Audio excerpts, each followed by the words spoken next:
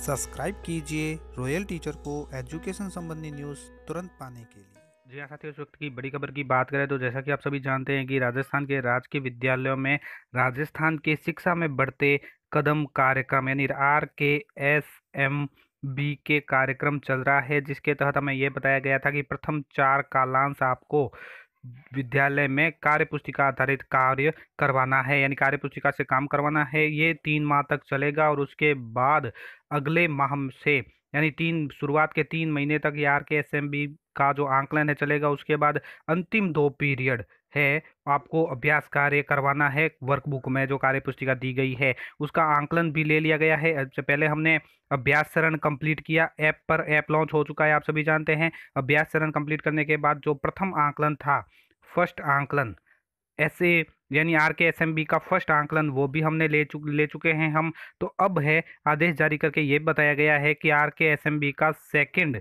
आंकलन है वो आपको लेना है। आपको बता दें कि को टोटल इस वर्ष जो आंकलन लिए जाएँगे वो तीन आंकलन लिए जाएँगे। वो are K S M B के, के आधारित रहेंगे यानी राजस्थान के शिक्षा में बढ़ते कदम कार्यक्रम के आधार पर वर्ष पर्यंत आपको तीन आंकलन लेने हैं। तो सेकंड आंकलन आपका सेकंड टेस्ट आपका ये समझ लीजिए दिसंबर में शुरू होने वाला है। इसके लिए राजस्थान माध्यमिक शिक्षा बोर्ड माध्यमिक शिक्षा राजस्थान बीकानेर की ओर से एक आदेश जारी किया गया है, जिसमें उसकी समय सारणी भी बताई गई है और बात करें कि राजस्थान में शिक्षा के बढ़तम बढ़ते कदम कार्यक्रम संचालित रेमेडेशन कार्यक्रम में विद्यार्थियों के आंकलन की तिथियों के संबंध में।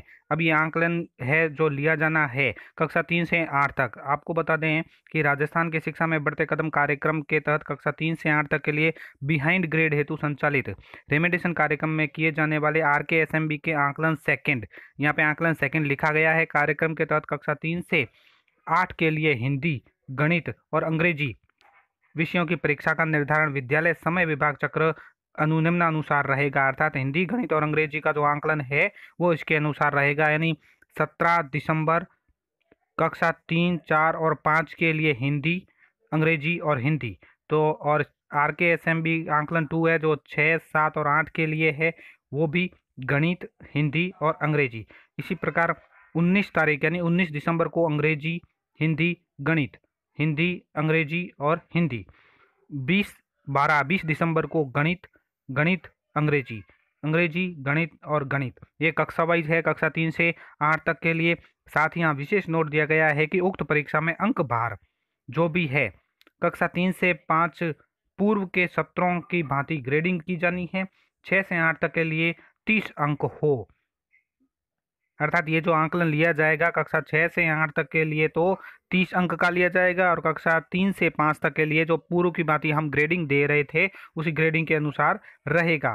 साथ ही यहाँ कुछ और विशेष नोट बताए गए हैं कि उक्त आर के एस एम के आंकलन टू के अंतर्गत अर्धवार्षिक परीक्षा एवं एस दिनांक आठ ग्यारह दो से बीस ग्यारह दो के मध्य विद्यालय स्तर पर निम्नानुसार आयोजित की जाएगी, यानी अर्धवार्षिक परीक्षा और एस टू का भी बता दिया गया है। नौ से बारह तक के जो विद्यालय कक्षाएँ हैं, विद्यालय स्तर पर सभी विषयों का पूर्व सत्रों की बाती लेना है। कक्षा छः से आठ तक के लिए एट ग्रेड की विज्ञान, सामाजिक विज्ञान, तृतीय भाषा सत्तर अंकों के लिए विद्यालय स्तर पर होगा। छः से आठ तक के लिए are K S M B के आंकलन टू के अतिरिक्त, जो सम्मिलित है। गणित, हिंदी व अंग्रेज़ी के एट ग्रेड की परीक्षा चालीस अंकों की विद्यालय स्तर पर होगी। कक्षा तीन से पाँच तक के लिए कला स्तर का पर्यावरण विज्ञान कक्षा स्तर का है ये। पर्यावरण विज्ञान, गणित, अंग्रेज़ी और हिंदी एट ग्रेड की परीक्षा विद्यालय स्तर पर इनकी ग्रेडिंग कर ली जानी है और एक व दो के लिए विद्यालय स्तर पर सभी विषयों का पूर्व की भांति होगा टेस्ट तो दोस्तों, ये थी आज की बड़ी खबर। उम्मीद है ये वीडियो आपको पसंद आई होगी। वीडियो पसंद आए तो ज़रूर लाइक, शेयर और सब्सक्राइब कीजिए। पास में आने वाले घंटी के बटन को ज़रूर दबाएँ। एजुकेशन संबंधी न्यूज़ तुरंत पाने के लिए।